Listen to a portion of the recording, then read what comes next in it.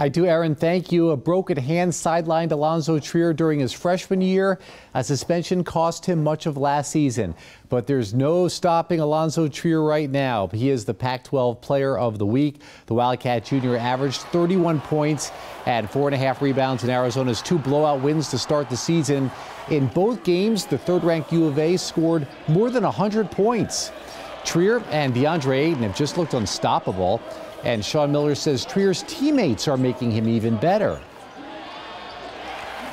It's set up for him as long as he continues to play the game this way, where he's taking good shots. And uh, if he takes good shots, like I've mentioned about him, no player that I've ever had and seen has worked harder on the game than, than Allonzo has.